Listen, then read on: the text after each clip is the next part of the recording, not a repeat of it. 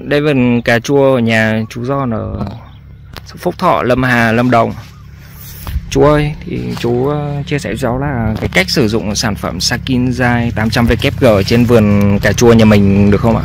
nói chung là thì cái thuốc này là chú cảm thấy là rất là ổn ổn thứ nhất là từ lúc cho vào cái thì là cái ờ, về cái lượng lá. ban đầu là lá vàng ấy là giảm hẳn đi đó những cái điều đấy là chú thấy là rõ rệt nhất À, chú ơi, chú chỉ cho cháu xem là trước đấy thì cái cây cà chua nhà mình có biểu hiện bệnh như thế nào, triệu triệu, triệu chứng trong như thế nào triệu chứng ban đầu á, là cái này là chính là cái lộ ờ, vàng lá này là lá chân này á. Đấy khi sau khi cho vào ấy là nó cầm được luôn.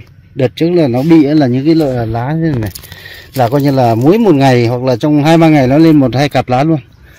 Nhà đến khi cho vào cái nó giữ được. Dạ.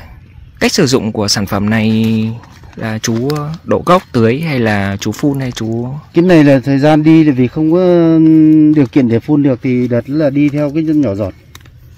Coi như đi thay như đợt phân đó nhưng mà mình đi phân riêng và cái này riêng.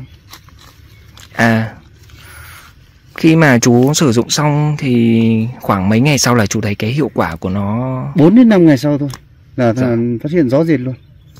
Cái nó cần hẳn lại. Dạ Đến bây giờ thì các lá chân của nó thì là giữ được cái ổn.